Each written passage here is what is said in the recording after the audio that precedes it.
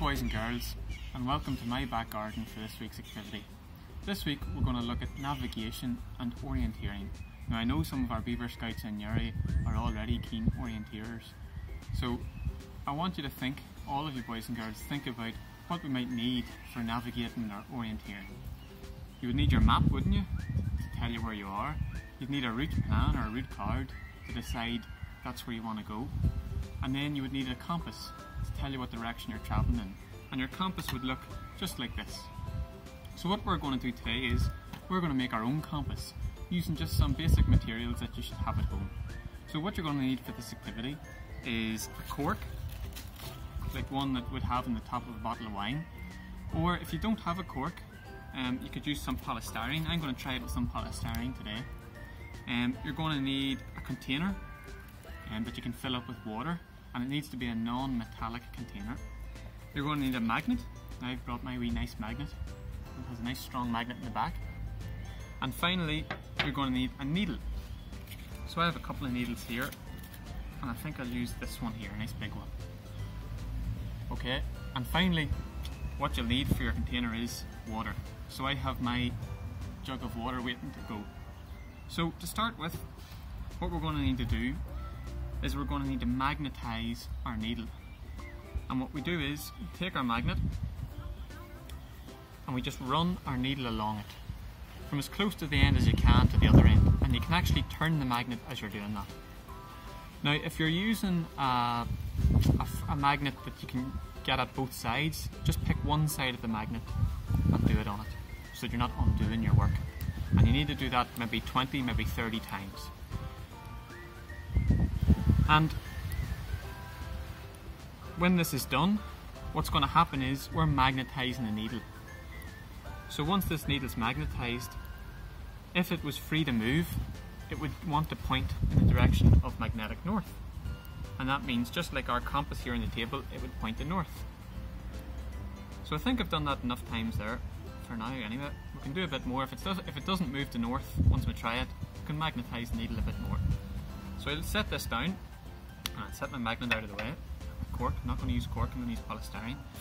So I'm going to break a bit off polystyrene. Now, if you're using cork, what you can do is you can actually, your mum or your daddy could help you and use a knife to cut a slice off the cork because you don't, you don't need to use the whole lot.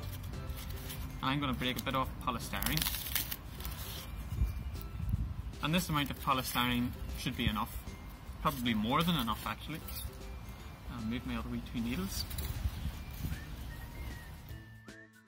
Okay, so if your polystyrene blows away in the wind, just grab it back again. And what we're going to do is we're going to take our container and I'll set it there so you can see it. And we're going to add in some water.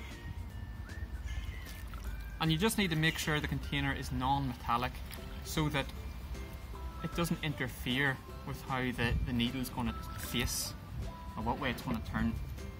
So we let it, the water settle a wee bit and we'll put our polystyrene in just like that. And here's our needle that we've just magnetized.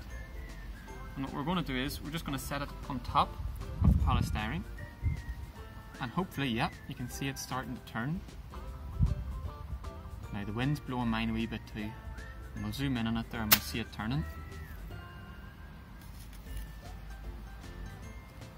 Okay, so you can see the base of the needle is pointing towards me almost. And then if I lift up this compass, you can see that north is also facing almost towards me. So actually what we've done there is we've magnetized that needle and it's now pointing towards north.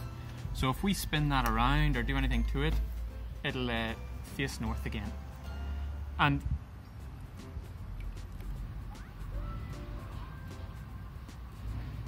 and it'll face north again. Yeah. So that's a good trick. Um, if we magnetize that needle just like we did at the start and we sat on the table like this, really that needle still wants to face north. It's using all its might now that we've magnetized it. It's trying to turn to face north, but because there's too much friction in the table, it can't move.